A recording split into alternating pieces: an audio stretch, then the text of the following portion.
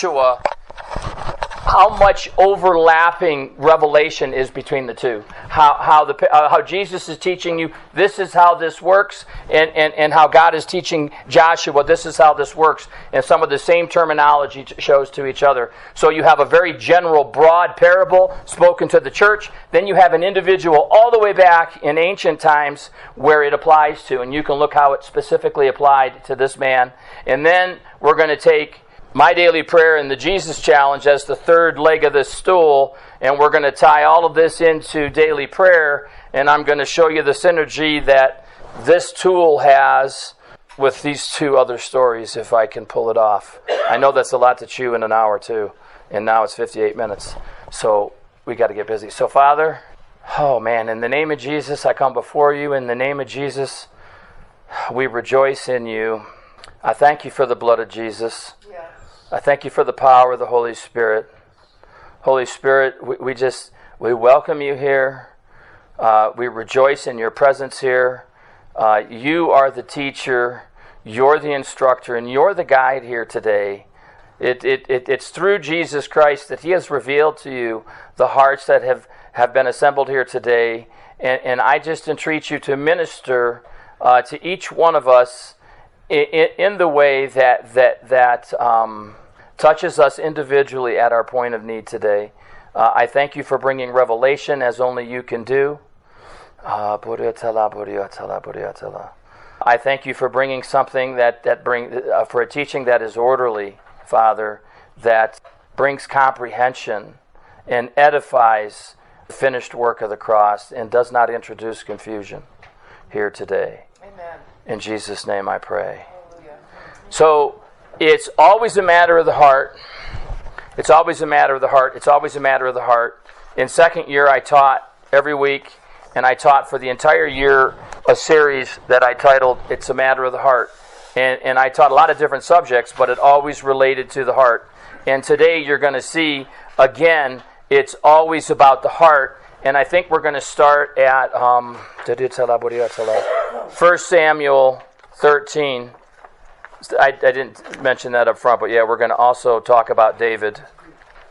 1 Samuel 13 and verse 14. And then I'm going to flip to Luke 8, verse 15, if you want to put your fingers on those two.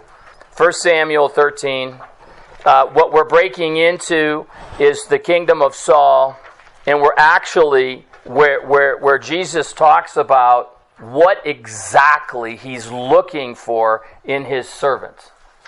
He's looking for a servant to lead his people. He's looking for a servant to pastor his people. He's looking for a, a, a servant that he can promote into positions of influence to establish his church, his kingdom of heaven, which has been proclaimed is at hand, to establish that kingdom here on earth today. We've been talking about this against all odds, and the 30,000 foot view was taking a look at a country that's driving itself off a cliff. It, um, it, many people, over 50% of the people, believe that there was a duly elected president that through fraud wasn't actually put into office. We know this has occurred at the Senate level all the way back 70 years ago maybe it's already occurred at the, at, at the presidential level. We just never knew. But it, it, was thrown in our face at the presidential level. We no longer have the freedom to elect our rulers. This is tyranny. This is the end of the freedom of religion in this country. It is the end of it. You can't. Tyranny does not support the freedom of religion, and so if what do we do as a group here that can actually change the trajectory of Washington, it's like it's against all odds. What can we do? And the answer is well, we obviously could look at some things. We need some more influence. If we were really in a position of influence, uh, Proximity to power is influence. So the greater, the higher you go in your, your authority and power, the greater the influence you have. If we could rise to one of these mountaintops and have this great and extraordinary influence, we might have a bigger say so in, in shaping culture and in establishing the Holy Spirit and the presence of the Holy Spirit through a Christian nation that's already been established, right? We need more influence. And so you're going to see that Joshua was a man who was given more influence. David was an individual that was given more influence. And you're going to see in this verse here that, that there's something that God specifically identified in David when he called an end to Saul's reign. Saul may have reigned as king for another however many years. It's thought that David was only eight years old, maybe 12 years old when this occurs. He was going to commit adultery with Bathsheba. He was going to have his one of his mighty men, one of his 30 mighty men, Uriah, her husband, executed or murdered. God saw all these things in David, but still said something over him. He still saw something else where he said, This is my leader. And notice he deposed the leader years before his years before his exile, and he and he and he installed a man in power when he was eight. Knowing the, the, the way that God works, and knowing that David got a progressive revelation of God's delegated authority, if you follow his life story, there was things that David had to accomplish to fulfill this word in him.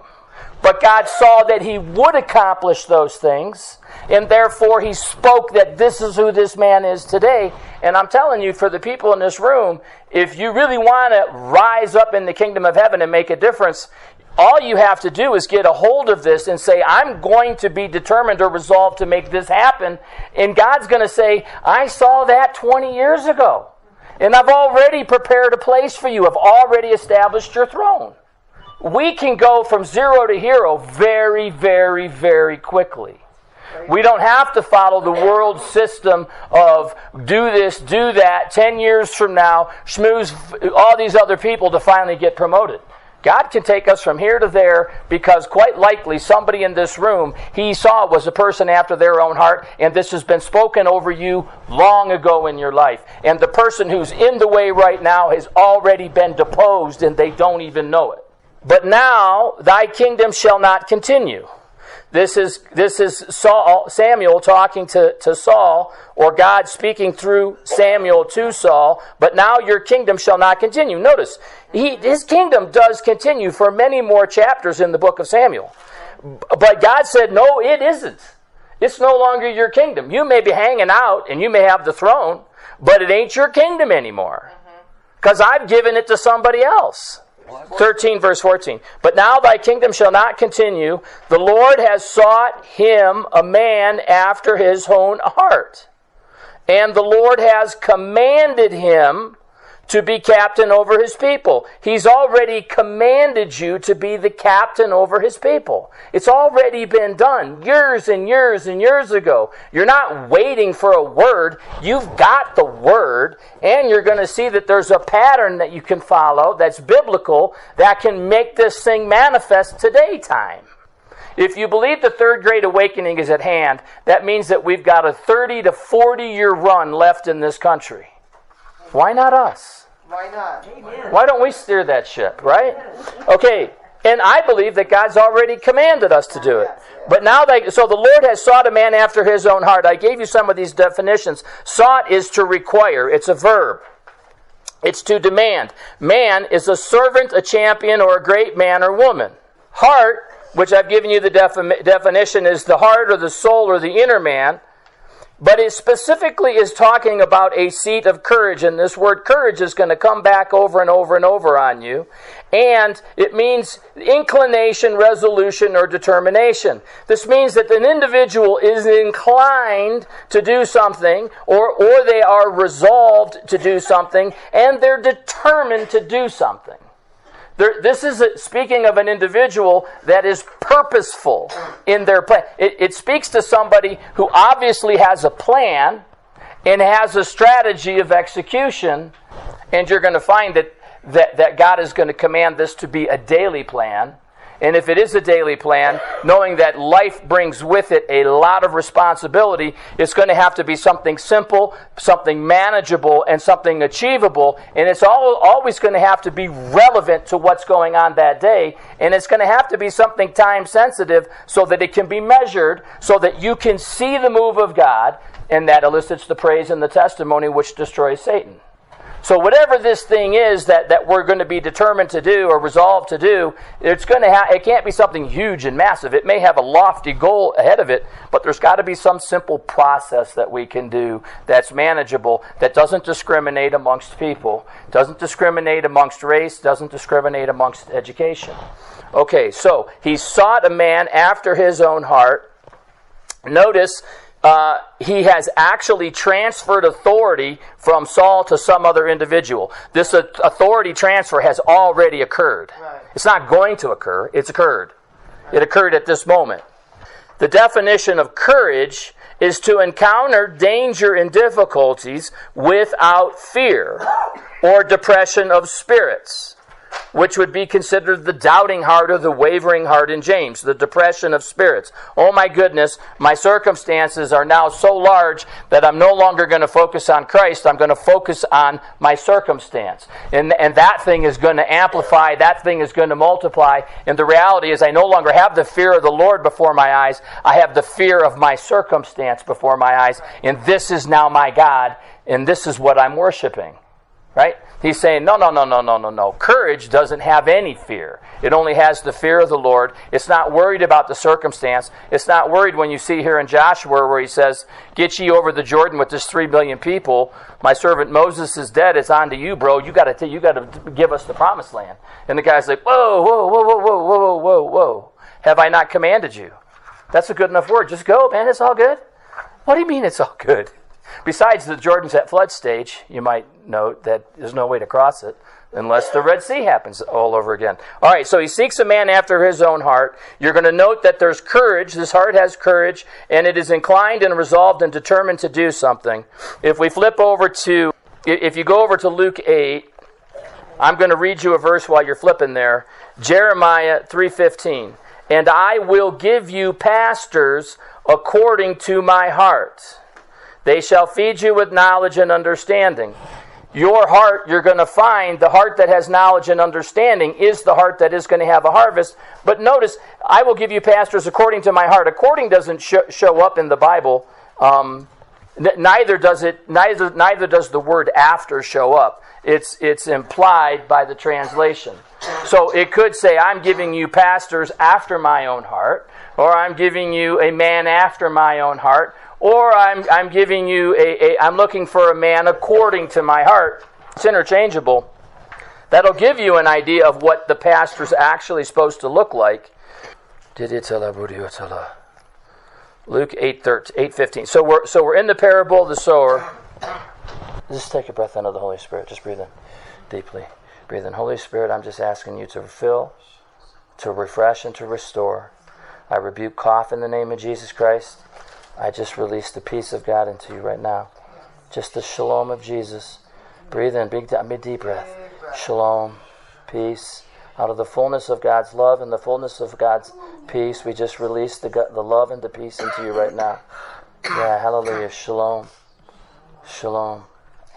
Shalom. Okay, so the parable of the sower, it starts at 8 5. I'm going to come all the way down to 815. The parable of the sower, uh, to just briefly talk about it, is a parable of about four different hearts. The first heart, I rebuke cough, you leave in the name of Jesus. You are rebuked, you get out. It's okay. It's okay. Peace. We'll do it every day if we have to. The first heart, the first heart, the first heart, the fowls of the air come. The second heart is a hardened heart. And you're actually going to find that offense is taken in the second heart. In the third heart, it's the cares of the world that come. In the first three hearts, there's absolutely no harvest. If we have time, we'll get into the third heart, but probably next week we'll deal with that. I just want to focus on uh, verse 8:15, which now then Jesus, after he speaks the parable, then breaks the parable down to his disciples, and he's already spoke about all the different hearts, and, and, and now he's talking about in verse 15, he's talking about the last heart, where in Matthew and in Mark's version, it, it either brings a, a harvest of a hundredfold return which is what it speaks about in Matthew. And in Mark, it's 30, 60, or one of the two is 30, 60, 100 fold. In the other, it's, it's 100 fold. Here, it doesn't quite say that. It says, But on the good ground are they which in an honest and good heart. This is where we get the revelation that this is the heart that he's talking about which is where we were, David, a man after my own heart, having heard the word, they keep it. And they bring forth fruit with patience. They keep the word of God. I think I gave you the definition to keep, which is to hold fast or to keep firm possession of. The root verb is to hold oneself to a thing. This implies something, an intentional plan or effort to steward something. You're going to find that it's the Word of God in Joshua that you're going to have to have some kind of a plan to steward.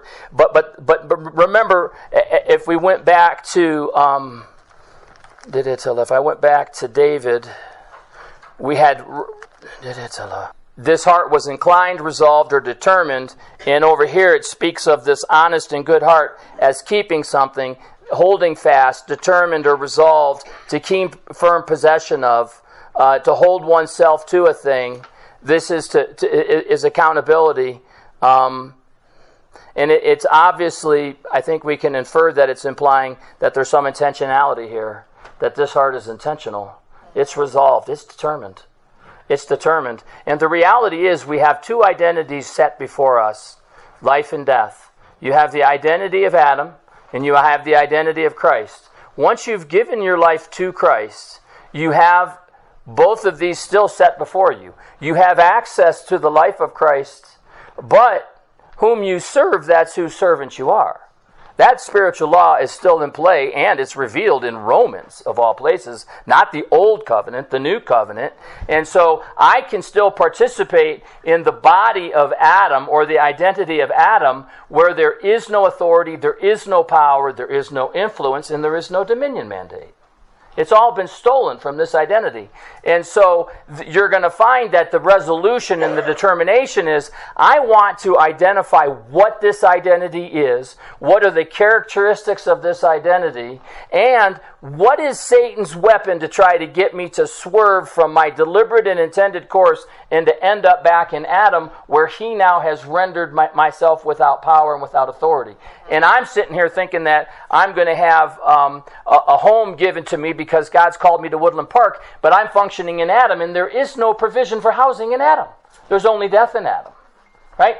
And, and, if I'm deceived, which is what the enemy does, and I reside and play around over here while I'm resolved or inclined to be over here, I'm, I'm in this position where I'm starting to get pretty frustrated that my prayers aren't being answered, right? And so it's this notion that I'm going to have to identify what this identity is. Charis does an incredible job of teaching what this identity is, and what are the traps that Satan is using to, to lure me over into this identity. And my relationship with the Holy Spirit grows stronger because he's teaching me and instructing me and guiding me. And, and, and when I end up over here saying, hey, you're back in that trap again, and then I have this wonderful gift of repentance via the cross where I can say, I'm still worthy, I'm still welcome, I'm still necessary, I'm still without sin, even though I'm in Adam, which is the beautiful gift that's too good to be true news. And in the name of Jesus Christ, I can repent of that behavior, which has changed the way, and say, I want to be over here. God, I'm sorry. And by the way, why don't you put a watch in my mouth that that, that, that prohibits me, that says, hey, you're just about to do the stupid thing again. And I can go, whoa, I'm about to do the stupid thing. What is the stupid thing? But I'm not going to go forward until I identify the stupid thing I'm about to do. And then when I realize I didn't do the stupid thing, it's like, whoa, I'm still here and I'm no longer over here. And now Satan has lost one of his weapons forever. Right. He's defeated. He's a defeated foe. And now you're the person that goes to the person next to you and says, Listen, let me show you a thing or two about how the kingdom of heaven, which is at hand, how it operates, and how you function in this identity, and guarantee that your prayers are always being answered. Amen. And we're going to teach a little bit about prayer here at the end. We're just going to probably introduce it. And next week we'll hammer into it a little bit harder. Um, but I wanted to, de- to demonstrate that in the parable of the sower, it's in the honest and good heart. The good heart is a heart, it's agathos. I don't think I had room to give you, give you the definition here. It's an adjective. And it's of good nature and it's pleasant and it's agreeable, but the primary characteristic of it is that which hinders the Antichrist from appearing.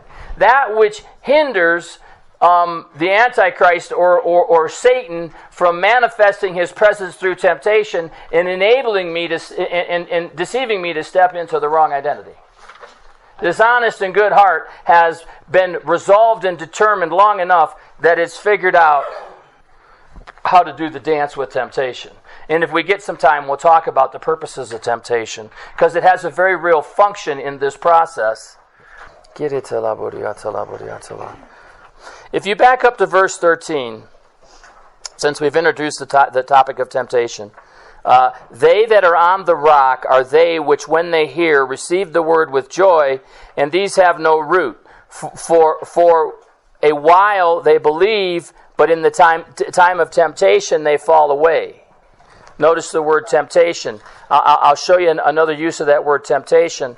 And in Matthew 13, uh, verse 21, it says, Verse 20, but he that receives the seed into stony places, the second heart. I just quoted this over here in, in, in, in, Luke. The same is he that hears the word and immediately with joy receives it. So you have that consistency between the two versions, yet has no root in himself. So there's not a foundation. There's not this understanding of who God says he is and who God is. And there's not this understanding that I need to develop a relationship with God at this point. Right. I've heard some things that are really remarkable and I've been blessed and I've experienced God, but I really don't know what the heck this kingdom kingdom of heaven is at hand is. And this temptation thing is just drawing me away over and over and over and over again. And I don't have any way to defeat it yet. And it says, Yet he has no root in himself and endures for a while. But when tribulation and persecution, uh, persecution arise because of the word, by and by he is offended. So we're, we're talking about persecution and tribulation.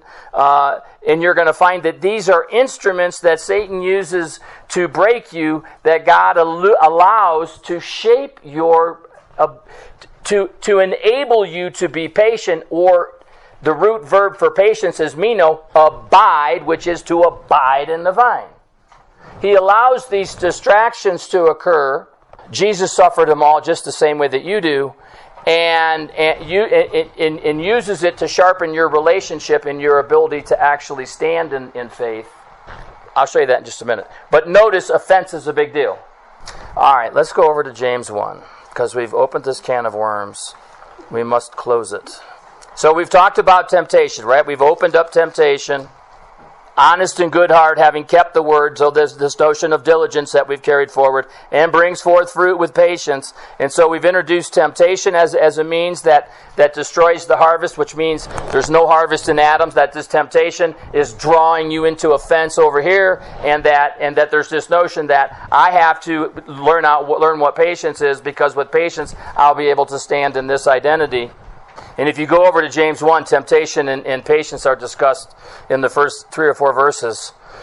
James, a servant of God. So remember, I'm looking for a man after my own heart. That man was defined as a servant.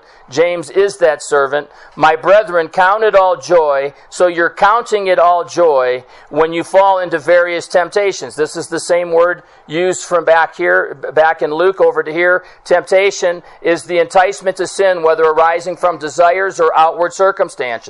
It's the temptation by which the devil seeks to steal your identity or divert your purpose or calling. And notice, James is say, saying, you're supposed to jump for joy when this happens. This is your opportunity. Well, I, I, the only way that this works means I must increase in influence. I must get something out of here. And you're going to see that this is how you increase in authority. This is how you increase in influence. This is how you establish this identity. And the more of that identity of in Christ is established at the soulish realm, the more of this power and authority can flow through you. And God knows what the enemy's going to throw at your way. He doesn't want to put you into a position where you're going to fall. He doesn't want to do that. He wants to put you into a position where you're going to be able to, to, to withstand the temptation that the enemy's going to bring because he's got to oppose you because you're destroying his plan. You are single handedly destroying his plan. He's got to oppose that. And, and so God has to teach you how to fight. He's got to teach you how to war. Well, this is the war. It's a spiritual war. That's what we're fighting. It's not a carnal war anymore. 1 Corinthians 2.10. It's not a carnal war. Our, our, weapons aren't carnal anymore. The tip of the spear is spiritual. Yeah, you might have a carnal weapon behind it, but the tip of the spear in this fight is always spiritual.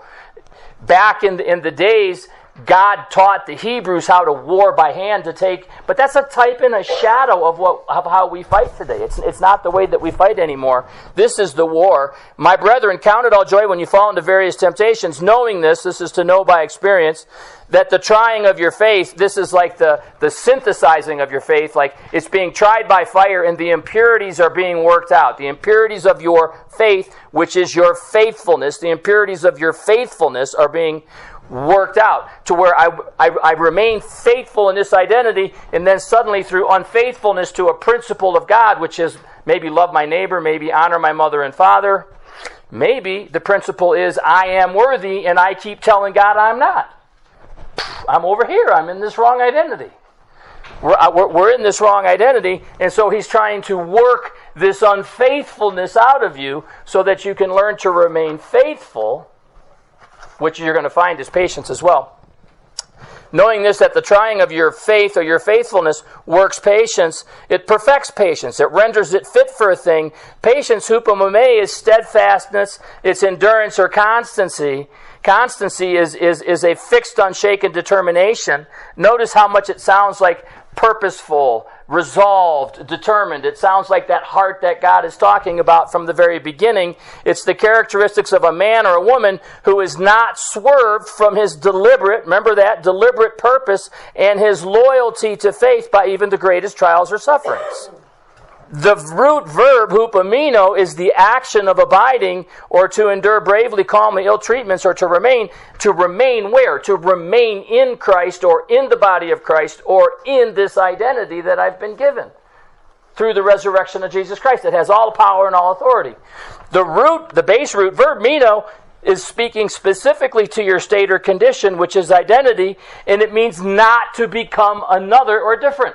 So he's saying patience is really this notion that you're not going to step from one identity and become a different person. You're going to know what manner of man or woman you are, and you're going to then seek revelation through the Holy Spirit to uncover the pitfalls that Satan keeps using. It's usually an individual. If people have a passion for ministry, people will he'll run people at you to challenge like your ministry isn't any big deal. Or you, I don't know, or your, or your family just like, whatever, you know, you're like a bum pastor. Why don't you get a real job?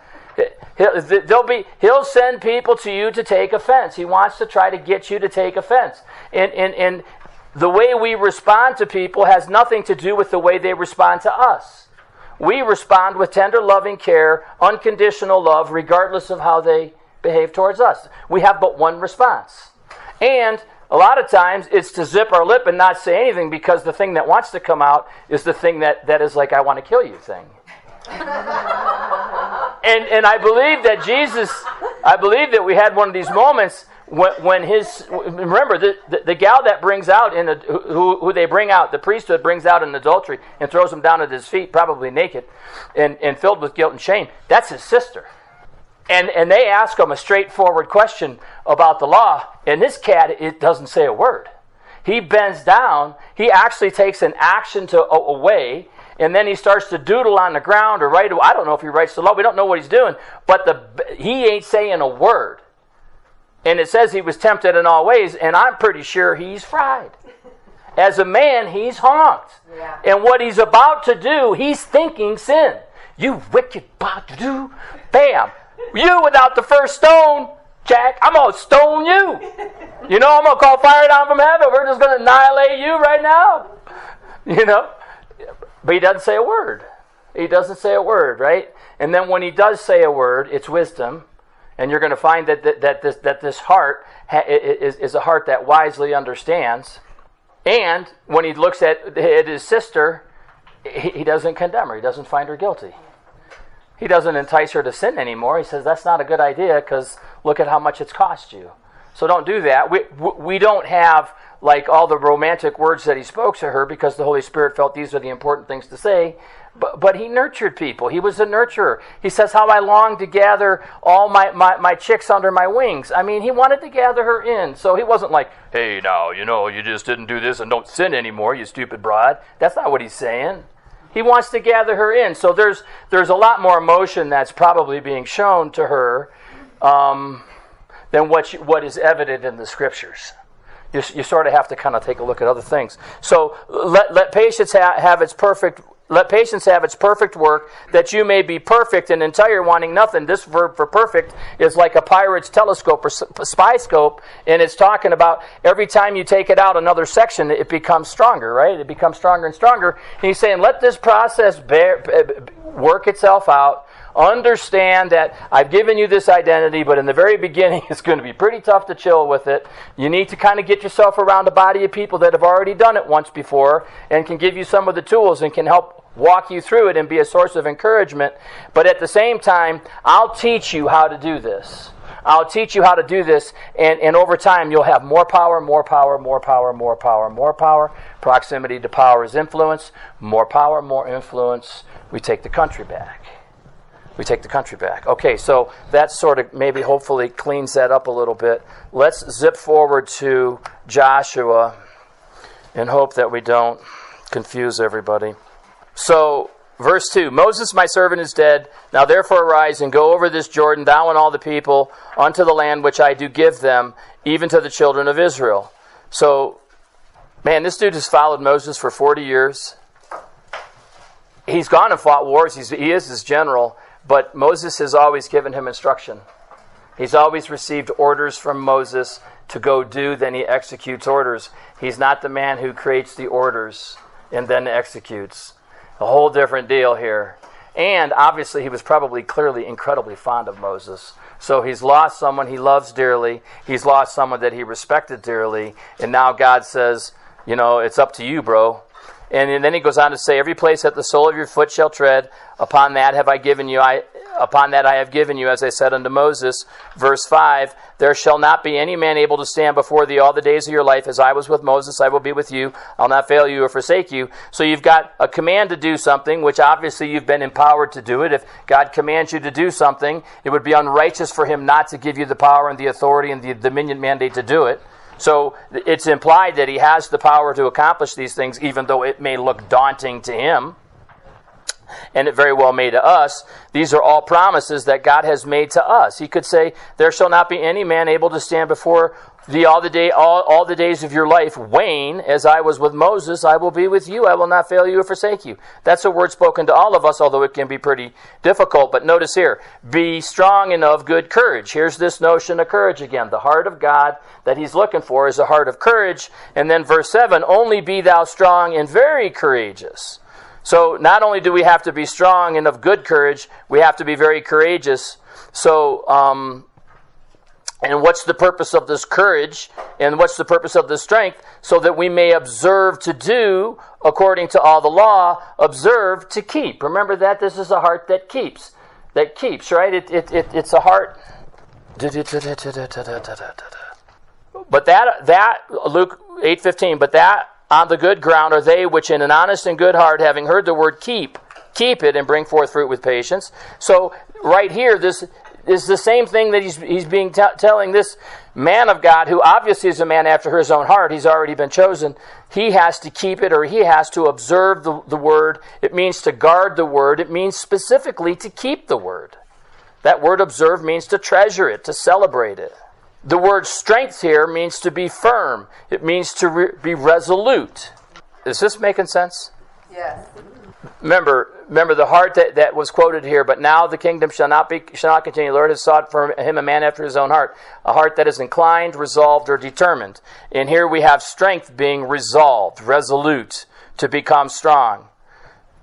Be very courageous. Courage, courage, courageous. Amatz, it's a verb. To be strong, to be alert. It means to be determined. He's going to actually show you how to have this heart. Because right now he's telling him, You got to have this heart, brother. This is what you got to have.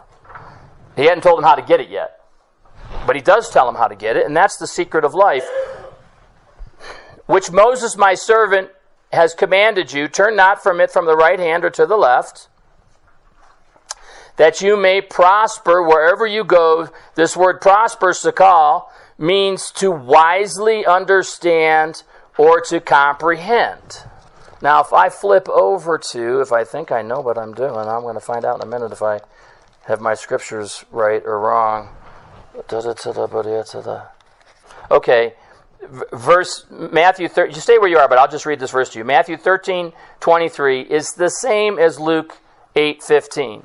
It's the very end of the parable of the sower, and it's where Jesus is explaining the last heart. But he that receives seed into the good ground, or the good heart, is he that hears the word and understands it, which also brings beareth fruit and brings forth some hundredfold, some sixtyfold, some some thirtyfold. Um, all the other hearts are, un, are unfruitful. This is the only one that brings it. But notice that understanding is part of that heart.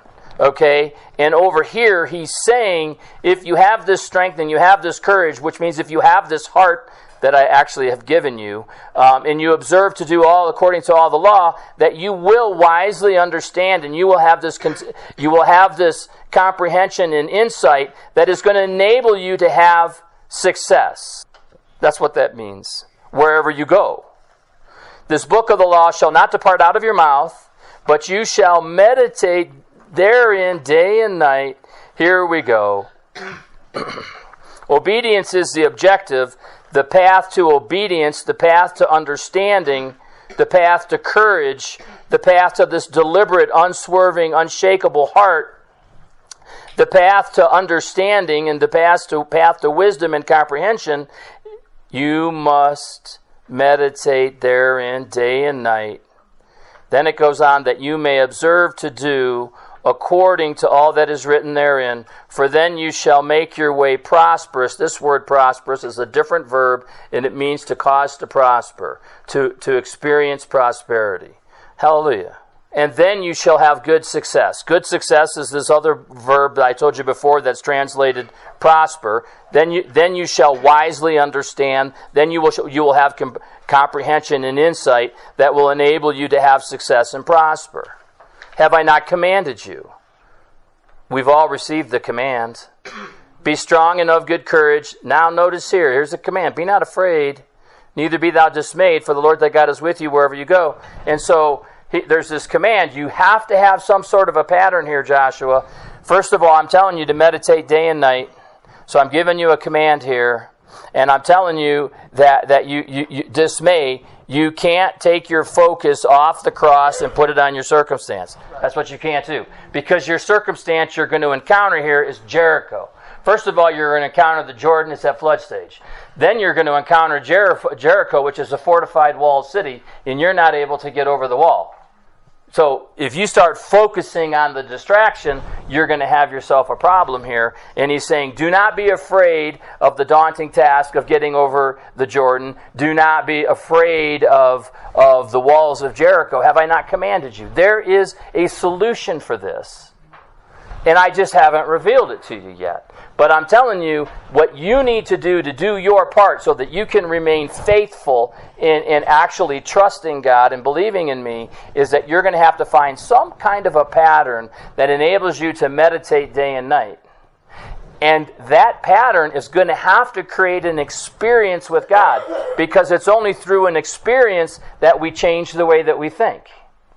And you're going to have to have this continual refreshing that is changing the way that you think about your circumstance, which appears very monumental. The idea of trying to take the country back uh, as, as, one example, trying to take Jericho back or getting across. So you're going to have to have something that enables you to have a continual experience with me that produces a revelation of who I say you are, which means, yeah, we can do this thing. It don't matter. My God is bigger than that wall at Jericho. I don't. I don't really care that the water's at flood stage. You watch. God's going to take care of it, and you'll see that. In, he'll, he'll prophesy and say, "Hey, in three days, it's all going to happen, man." Because he's going to be emboldened by his experiences with God, meditating on the Word of God day and night. It's talking about an you're going to you're going to have to have some kind of an intentional plan. And that plan is going to have to be something very simple, is very manageable, very achievable. It needs to be realistic. It needs to be something that, that is uh, um, relevant to your life so that you actually want, want to do it. And it needs to have something that's time sensitive so that you actually have th- this experience that's measurable where you see progress in your attack on whatever mountain is in front of you. Right. And so sometimes we face bigger mountains than we face other days. And so you're going to have to have some kind of a plan that's battle tested, that you know exactly how it functions and how it operates. And, and this is what I do when I'm confronted with a situation. This is what I do. And this is how I roll, and it works every single time. Now, I may deviate from my core plan throughout the week, depending on what my circumstances are, because I'm in this romantic move with God where He's taking me through the, the Bible in a different way. But all of a sudden, boom, the devil manifests with a temptation or a circumstance that I didn't expect. And suddenly it's like, or maybe it's three circumstances at once. And you're like, well, all right, I know exactly what to do. I'm going to go back to the Jesus challenge because I got a plan and I know what works. And I've got something that will get me through no matter what. A disciple of Jesus Christ, I often uh, equate it to the Army Rangers. The Army Rangers or uh, Special Forces that one of the things in the characteristics, I watched an interview with some of the leadership in the special forces, and it blew me away when they started to define how, how they operated and what made them special. Because I thought it was because they could hit a bullseye 10 out of 10 times. I thought it was because of their proficiency in, in, in their supersonic strength, or they were like the super soldier. And he goes, No, man, we ain't the super soldier. What separates us from everybody else is that our discipline, our determination, and our resolve. We do things a certain way and we don't swerve the way that we do them, regardless of the circumstances that we face. We know what we do. Our enemy breaks down in fear. And they, and they don't maintain discipline. Our disciplined approach allows a handful of us to destroy 50 of them. It's discipline, discipline, discipline, discipline, discipline. The disciple is someone who is disciplined and they're determined and they're resolved to see a certain thing happen because God has made a promise I will teach you, I will instruct you, and I will guide you. You seek relationship with me first and foremost. I promise you all these things will be added. But I'm also giving you the desires of your heart, and we might as well try to transition into prayer for the last 15 minutes we have here. Psalms 37. I've made you some promises. Okay, Psalms 37 1. Fret not thyself because of evildoers, neither be thou envious against the workers of iniquity. He's talking about the government of the United States right now. If you oppose the president and the leadership of this country, even the leadership of the state of Colorado, he's saying, Don't fret yourself because of evildoers, neither be envious of the workers of iniquity. And if I drop down to verse 8, it says, Cease from anger and forsake wrath. Fret not yourself anywise to do evil. So there's a big promise in the middle, but it's sandwiched by a couple pretty significant statements. And this is where a lot of people blow it. I'm a Christian and I can identify that this individual is acting ungodly. Well, good. You have wisdom. You have, you can, what do you do next? You love your enemy. You pray for the guy. You've identified a guy who likely is going to hell. Your responsibility is to intercede and to pray. You have a weapon to, for him. But if you start to judge him and go that he's a liar, he's a li- who who is the accuser? That's Satan. You start to do Satan's job. You're the one instead of pointing the finger at yourself saying, "Father, what can I do to help in this situation? Is there anything I can do or pray for in this situation because it disturbs me greatly?" And it breaks my heart to see this happen. What do I do here? My relationship with God, where I let Him work within me and, and, and, then tell me how to pray if I'm to pray for this situation, as opposed to saying, look at that, look at that, and then telling my neighbor through gossip and innuendo, look at that, look at that, cast aspersions. What, God says there's six things that are an abomination to Him, and that's one of them right there, pointing the finger. And instantly I've moved from one identity into Adam. And I think that I'm going to actually make a difference because I know all about the history of my country. I can't save my country from Adam. My weapons aren't carnal. I can only save my country and overthrow tyranny from, from, from this revelation. George Washington was saved and baptized in the Holy Spirit. He had a revelation of God. So did the founding fathers. They functioned in this identity and they had an unswavering commitment to the moral principles of Christ and the rule of law, the proper just rule of law. But the proper and just rule of law couldn't flow out of a society that's immoral. It would have to flow out of a moral society. So you see a handful of guys that unite that God has noticed that they're men after his own heart, so he puts them into a position of influence, and then he, he delivers them from a king of England. And in the end, the, win the, the winning of that victory took the French army and the French navy and the Cuban women to give us the money to fight the war.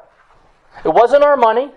It wasn't our navy because we didn't have one, and 9,000 troops in the end. There was 14,000 troops, 17,000 troops that surrounded Cornwallis at Yorktown. 9,000 of them were French under French leadership. Pretty crazy, huh? That's crazy. God delivered them. I could read you some quotes right now from George Washington and John Jay where they say there was only one thing that we could hope for and put our trust in, and that was God. Because what you saw, well, there was nothing you could put your trust in this way. We had but one hope, and that was God to deliver us based on what He said in the Bible. Okay. Verse 2, 37 2. For they shall soon be cut down like grass and wither as the green herb. Trust in the Lord and do good we're going to talk about trusting the Lord next week in detail. Trust the Lord and do good.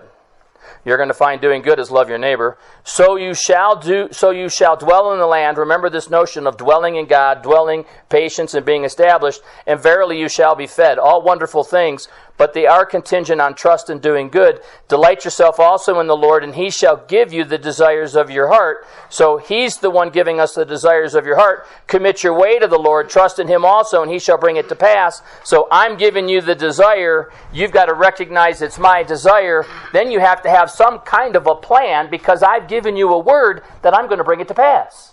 But it's only going to happen in this identity.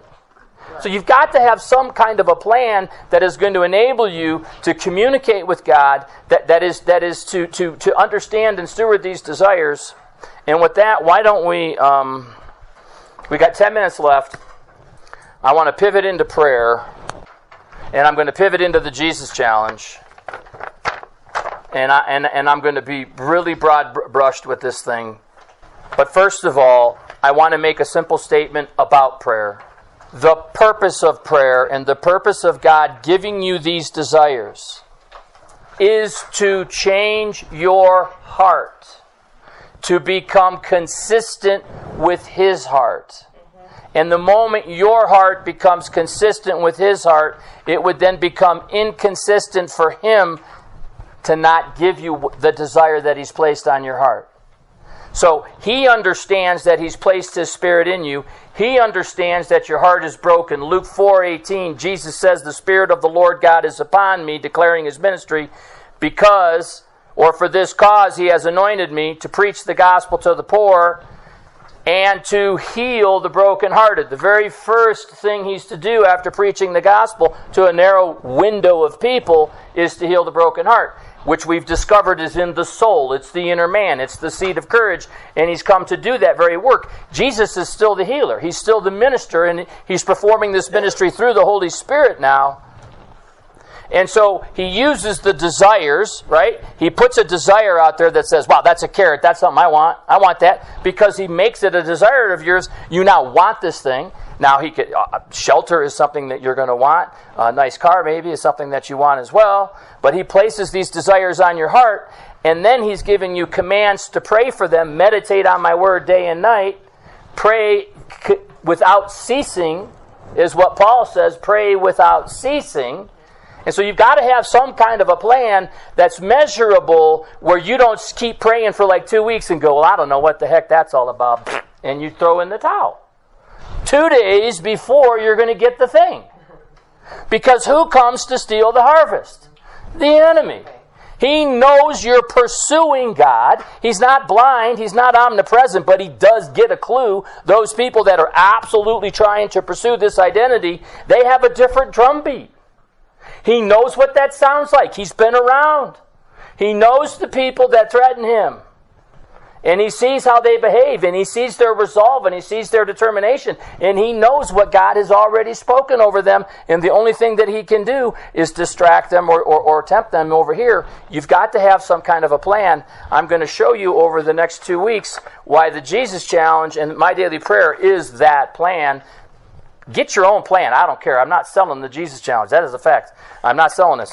But it works, and everything that's established in Pueblo is established on this fundamental document. They're not interdependent. You don't have to do the one with the other. They're two totally separate things on one sheet of paper. However, they are actually linked very well together. On the front, my daily prayer, restore your shalom, which is a covenant of peace revealed in Isaiah 54. This is nothing but Scripture. It's nothing but Scripture. Meditate on the Word of God day and night. It's nothing but the Word of God. It's, it, it's not necessarily taking a whole Scripture, it's taking components of Scripture and weaving it into a prayer, and it's footnoted but it is tactically arranged in a format to cover all of the bases so that you are functioning in this identity and get a revelation of where you're not functioning in that identity. On the back, the Jesus Challenge is a place for petitions. This is where my petitions, my desires that are on my heart, I place before God. At the very bottom of it, your signature and your date is when you have executed a power of attorney and given God authority to fulfill the word of God that He's promised to do. You're going to make the claim, I'm going to meditate on the word of God day and night. And I got at least it's on one sheet of paper. It's not like 10 sheets of paper. It's not like the Holy Bible, which is how big. I told God he had to put the Bible on one sheet of paper if he wanted his whole plan to work, and this is what he did. This is like the Bible freeze dried. When you read this, it expands. It expands.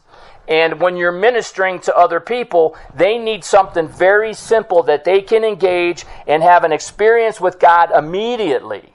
Because that is the only thing that's going to pull them in and give them a revelation of what their identity is. As soon as they get a revelation of God and identity that's different than they thought, this is changing the way that you think. This is repentance. And he immediately remanifests his presence using Malachi 3:1 to completely confirm you're turning in the right direction. You're turning in the right direction.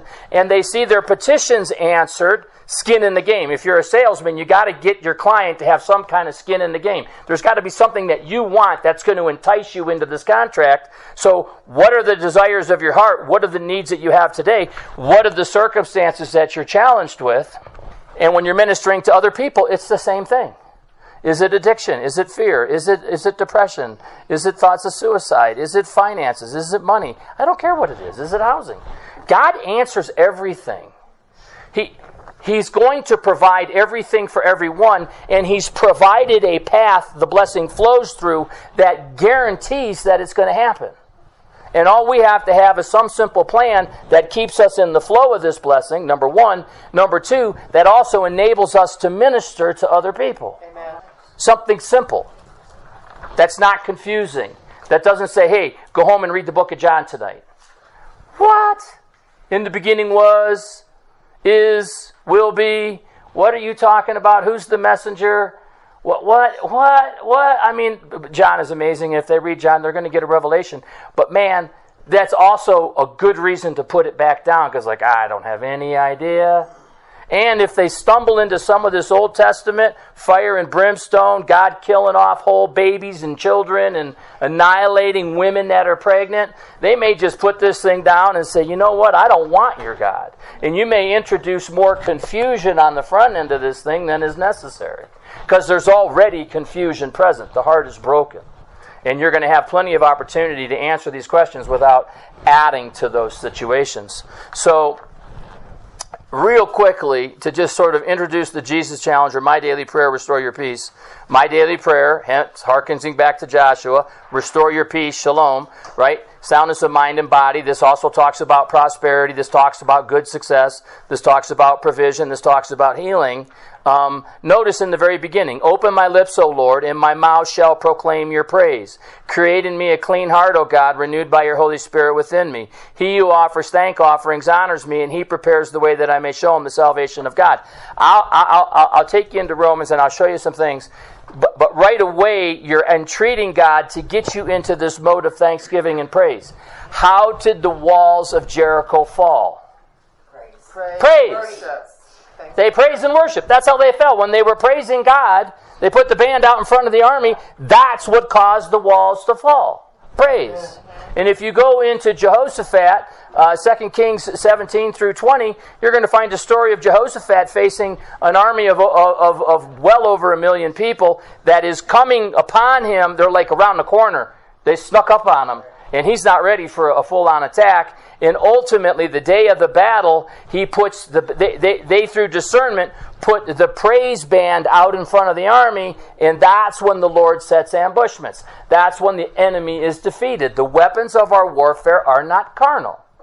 And this thing is right away giving you something to teach from and something to cue you he who offers thank offerings honors me, and he prepares the way that I may show him salvation. I've given the definition there liberty, deliverance, salvation, welfare, safety, rescue, victory, prosperity. Hallelujah. I want that. What can I be thankful for? I'm breathing. But if the first petition is, Father, I want an immediate increase in revelation of your love for me, they're going to get that. And if they turn over here and they start to read their petition, Father, I want an immediate increase in revelation of your love for me, God, I feel that love. And I hear it all the time. And I'm like, wow, I'm so thankful for that. Now, if I were to teach a little more on praise, you'd find that, that, that there's God is embedded in the, in the praise of a humble person. And he, he specifically, his power is there and his presence is there to destroy the works of the devil.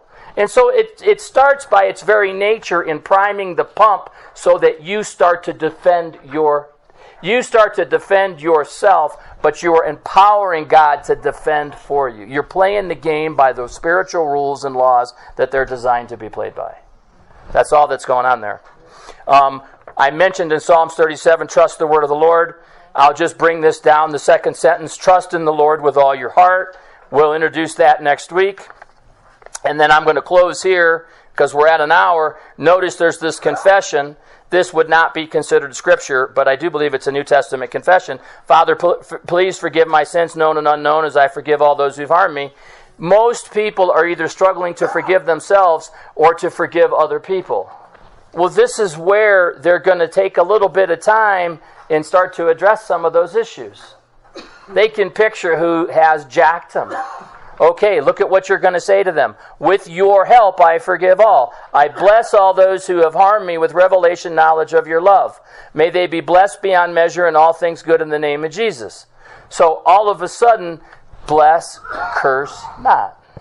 We'll talk more about this next week, and, and, and, and we'll just kind of weave everything back and forth together. We'll mash it all together for a couple weeks, and, and hopefully it'll bless you. And hopefully I didn't add confusion, but we actually we actually we did all right. Did that bless you guys? Yeah.